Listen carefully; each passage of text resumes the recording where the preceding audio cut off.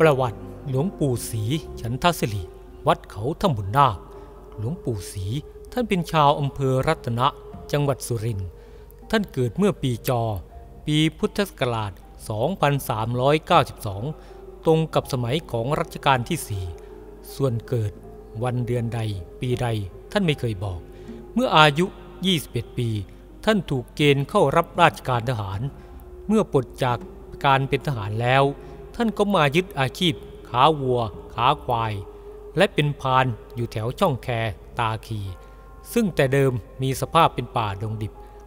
และยังไม่ได้ตั้งเป็นอำเภอตาคี เมื่อมีการใช้นามสกุลขึ้น ตระกูลของท่านก็ใช้นามสกุลว่าดำริ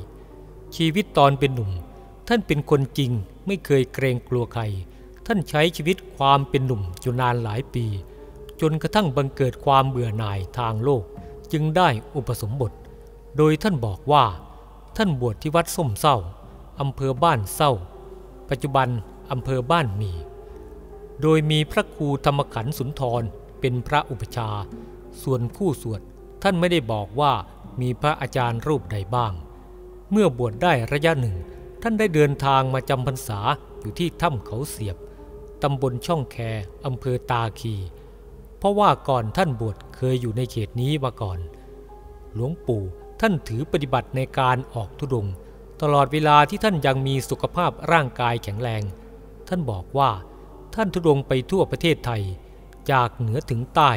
ตะวันออกถึงตะวันตก ท่านไปมาหมดทั้งเคยไปทุดง ไปฝั่งประเทศลาวจำพรรษาอยู่ในประเทศลาวหลายปี ทุดงเข้าประเทศพม่าเลยไปประเทศอินเดีย ไปนมัสการสถานที่สำคัญทางพระพุทธศาสนา ท่านยังเล่าว่ามีอยู่ครั้งหนึ่ง เมื่อหลวงปู่ไปนมัสการพระพุทธบาทสี่รอย ตอนเช้าท่านก็ได้ไปนมัสการพระพุทธบาทสี่รอย เป็นประจำทุกวัน แต่หน้าประหลาดบริเวณรอยพระพุทธบาทสะอาดเรียบร้อยไม่เปื้อนเปื้อน ทั้งๆทที่ไม่มีคนอยู่คอยทำความสะอาด ต่อมาก็ได้เห็นช้างป่าหลายเชือก มาทำความสะอาดในตอนเช้าเป็นประจำ โดยใช้งวงปัดเป่าทำความสะอาดได้อย่างยอดเยี่ยม ท่านเล่าว่า ด้วยการที่อยู่ใกล้กันและเห็นกันอยู่ทุกวันเป็นประจำทำให้ช้างเหล่านั้นเกิดความสนิทสนมกับท่านเป็นอย่างดี จนในเวลาต่อมาช้างเหล่านั้น ได้นำหัวบัวบ้าง กระจับบ้าง และน้ำอ้อยมาถวาย ท่านได้ฉันอย่างไม่ขาด ช้างเหล่านั้น มันปฏิบัติได้เหมือนคนไม่มีผิด แม้พวกช้างเหล่านั้นจะเป็นช้างป่าก็ตาม แต่ก็เชื่องเหมือนช้างบ้าน เมื่อท่านได้นมัสการพระพุทธบาทสี่รอย และปฏิบัติธรรมนานพอสมควรแล้ว ท่านจึงเดินทางกลับ เพื่อไปแสวงหาความวิเวกที่อื่นต่อไป ในวันที่ท่านเดินทางกลับนั้น หลังจากฉันอาหารที่เราฝูงช้างป่านำมาถวาย และบอกว่าวันนี้ ท่านจะเดินทางกลับแล้ว ช้างป่าเหล่านั้นก็พร้อมใจกันเดินมาส่งท่านที่เชิงเขาด้วยความอาลัย มีอยู่ครั้งหนึ่งที่หลวงปู่เดินทุดงไปในป่าลึก ขณะที่หลวงปู่เดินอยู่ในป่าดงดิบนั้น ท่านก็ได้พบช้างโขลงใหญ่ ช้างป่าทุกเชือกมีลักษณะโหดร้าย โดยเฉพาะเชือกจ่าฝูง รูปร่างสูงใหญ่ งายาว มันยืนจ้องมองมายังหลวงปู่ พอหลวงปู่เห็น ท่านก็ยืนสงบแผ่เมตตาให้พญาช้าง และช้างทุกๆเชือกในโขลงนั้น พันเชือกที่เป็นหัวหน้าโขลงก็ชูงวงขึ้น พร้อมกับเป่งเสียงร้องดังก้องป่า ในสภาพบรรยากาศเช่นนี้ หากไม่ใช่หลวงปู่แล้ว นับว่าเป็นช่วงที่น่าสะพึงกลัวเป็นอย่างยิ่ง แต่หลวงปู่ท่านอยู่ในอาการสงบเหมือนไม่มีอะไรเกิดขึ้น พอสิ้นเสียงร้องกังวาน ของหัวหน้าโขง ช้างป่าทุกเชือกก็ย่อตัวลงหมอบอยู่กับพื้น พร้อมชูงวงขึ้น ประหนึ่งเป็นการแสดงคารวะอย่างนอบน้อมต่อหลวงปู่ศรีผู้มีเมตตาธรรมและความบริสุทธิ์ ต่อจากนั้นหัวหน้าโขงก็เดินเข้ามาหมอบอยู่ตรงหน้าท่าน จากนั้นช้างอีกเชือกก็เข้ามาใช้งวงช้อนร่างของหลวงปู่ให้ขึ้นไปนั่งบนคอของช้างหัวหน้าโขง ทุกอย่าง เป็นไปอย่างอัศจรรย์ยิ่ง ต่อจากนั้นมันก็ลุกขึ้นเดินนำโขงไปส่งท่าน ผ่านป่าดงดิบจนถึงชายป่า ตอนเช้าวันหนึ่ง พวกชาวบ้านป่าได้มาพบเห็นเหตุการณ์มหัศจรรย์เช่นนั้น ต่างก็ก้มลงกราบหลวงปู่ และนำอาหารมาถวาย ถามหลวงปู่ว่าทำอย่างไรช้างป่าจึงไม่ทำร้าย และยังมาส่งหลวงปู่อีก ชาวบ้านเขตชายแดนไทยพม่า ทราบดีว่า ช้างป่าโขงนี้เป็นช้างป่าที่โหดร้ายที่สุดในแถบนั้น แต่น่าอัศจรรย์ที่ช้างป่าไม่ทำร้ายหลวงปู่ศรีหลังจากหลวงปู่ศรีฉันอาหารเสร็จ ท่านก็ให้ศีลให้พรชาวบ้านป่า และถามถึงเส้นทางที่จะเดินทางต่อไปพญานาคในถ้ำหน้าวัด ในสมัยแรกที่พระมหาสมบูรณ์ ท่านนิมนต์หลวงปู่ศรีมาอยู่ที่วัดเขาถ้ำบุญนาค ก่อนที่จะมีกุฏิหลังเล็กที่หน้าปากถ้ำหน้าวัด หลวงปู่ศรีท่านจะจำวัดอยู่บนก้อนหินที่ในถ้ำมีอยู่คราหนึ่ง หลวงปู่ศรีท่านไม่สบาย ลุงแตงเล่าให้ฟังว่า ตอนนั้นมีอยู่สามคนที่มานอนเฝ้าหลวงปู่ คือลุงแตง ทิศสว่าง และลุงขุยนอนกับหลวงปู่ในถ้ำช่วงพลบคล่ำหลวงปู่ท่านมาสกิด ให้ลุงทั้งสามคน ขึ้นมานอนบนก้อนหิน หลวงปู่บอกว่า เดี๋ยวเขาจะมาคุยกับหลวงปู่ ในถ้ำแห่งนี้จะมีถ้ำเล็กๆ ซอยย่อยออกไปอยู่มากมาย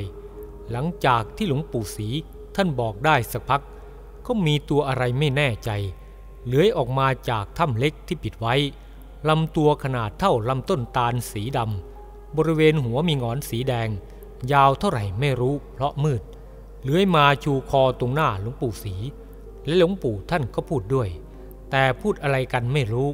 สักพักก็เลื้อยออกไปจากถ้ำทั้งๆทที่ถ้ำนั้นทำการปิดไว้อยู่ พอสอบถามหลวงปู่ ท่านก็บอกว่า เขาเป็นผู้รักษาถ้ำนี้ และมาขอให้ช่วยรักษาถ้ำนี้ไว้ อย่าให้ใครมาทำลาย มีพระพุทธรูปในสระน้ำหลังจากที่หลวงปู่ศรีท่านย้ายออกจากในถ้ำ มาอยู่ที่กุฏหลังเล็กหน้าปากถ้ำตรงบริเวณหน้ากุฏิหลังเล็กนี้ จะมีสระน้ำลึกอยู่ มีอยู่วันหนึ่ง หลวงปู่ศรีท่านมองไปที่สระน้ำและบอกกับท่านพระอาจารย์สมบูรณ์ว่า ใต้สระน้ำนี้มีพระพุทธรูปเก่าอยู่สององค์ ปีหน้าน้ำในสระจะแห้ง ให้เด็กในวัดไปงมขึ้นมานะ หลังจากเวลาผ่านไปหนึ่งปี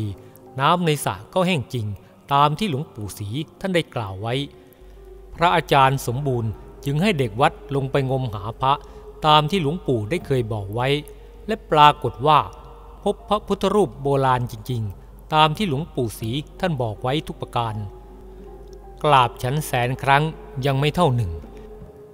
เรื่องราวที่เกี่ยวข้องกับคณะชนบุรีกับหลวงปู่ศรีสืบเนื่องจากคณะชาวชนบุรี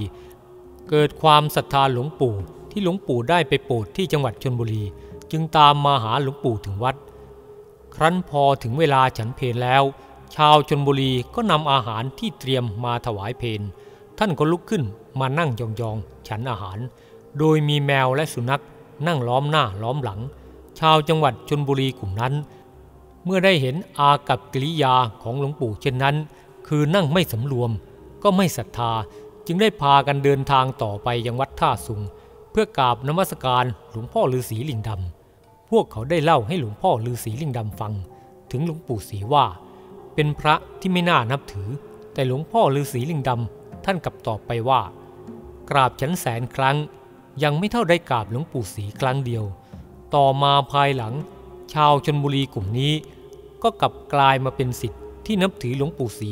มากที่สุดกลุ่มหนึ่ง อย่างไม่น่าเชื่อและได้สร้างพระถวายหลวงปู่ศรี อยู่หลายรุ่น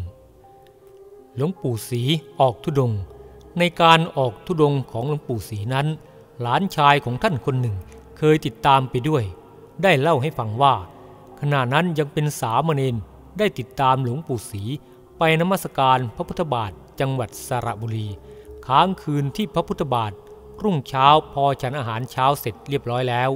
หลวงปู่ศรีก็พาเดินทางกับตาคลีทันที โดยหลวงปู่ศรี บังคับให้ผู้เล่าเดินออกหน้าตลอดเวลา หลวงปู่ศรีเป็นคนเดินท้าย ปรากฏว่าเมื่อถึงตราคีเป็นเวลาฉันอาหารเพนพอดี ซึ่งระยะทางจากพระพุทธบาทมาถึงตราคีให้เดินเก่งอย่างไร ก็ไม่สามารถที่จะเดินถึงได้ ภายในเวลาไม่ถึงครึ่งวัน แต่หลวงปู่ศรีก็พาเดินจนได้ หลวงปู่สุขมอบคำพีให้หลวงปู่ศรีหลวงปู่สุข วัดปากคลองมะขามเท่ากับหลวงปู่ศรีมีความสนิทสนมกันมาก ในบางครั้งหลวงปู่ศรีจะมาจำพรรษาที่วัดปากคลองมหามเท่า และแลกเปลี่ยนวิชาบางอย่างกัน วิชาของทั้งสองท่านจะมีลักษณะคล้ายๆกัน เช่น การย่นระยะทาง การเสกใบไม้เป็นต้น หลวงปู่สุขมีอายุมากกว่าหลวงปู่ศรีประมาณสองปี ฉะนั้น หลวงปู่ศรีจึงมักจะเรียกหลวงปู่สุขว่า หลวงพี่ หลวงปู่ศรีเล่าให้สิทธิ์ฟังว่า ในวันออกพรรษาท่านมักจะออกจากวัดที่ท่านจำพรรษา เพื่อทุดงต่อไปที่อื่นๆ ในคราวที่จำพรรษาอยู่ที่วัดปากคลองมะขามเท่านั้น หลังจากออกพรรษาแล้วหลายวัน ท่านก็คิดว่าจะเดินทุดงต่อไป แต่หลวงปู่สุข ขอให้ท่านรั้งอยู่ที่วัดก่อน รอให้ท่านกลับมาแล้วค่อยไป แต่ท่านอาจจะเห็นว่าเลยกำหนดมาหลายวันแล้ว พอหลวงปู่สุขออกบิณฑบาตท่านก็เก็บข้าวของ แล้วออกเดินทางทันทีไม่ยอมอยู่ตามคำขอ เมื่อหลวงปู่สุขกลับมาจากบิณฑบาตถามพระเนนในวัด ก็รู้ว่าหลวงปู่ศรีไปแล้ว ท่านจึงสั่งให้พระเนนฉันข้าวไปก่อน แต่ให้ฉันรอท่านด้วย แล้วหลวงปู่สุขก็เข้ากุฏิหอบเอาคำพีสายเวทสามเล่ม ตามหลวงปู่ศรีไป ปรากฏว่าไปทันกันที่อำเภอตราคี จึงมอบคำพีทั้งสามเล่มให้หลวงปู่ศรีแล้วจึงกลับมาที่วัด ปรากฏว่าพระเนนที่วัดเพิ่งฉันข้าวได้ไม่กี่คำเท่านั้น ซึ่งไม่น่าจะเป็นไปได้ เพราะระยะทางจากวัดปากคลองมะขามเท่า ไปอำเภอตาคี ประมาณ 40-50 กิโลเมตร นั่งรถยนต์ยังต้องใช้เวลาเกือบชั่วโมง แสดงว่าหลวงปู่สุขใช้วิชาย่นระยะทาง พวกลูกศิษย์ก็ถามหลวงปู่ศรีว่า ช่วงเวลาที่หลวงปู่สุขไปบินทบาทหลวงปู่ศรีเดินจากวัดปากคลองมะขามเท่ามาถึงตาคีได้อย่างไร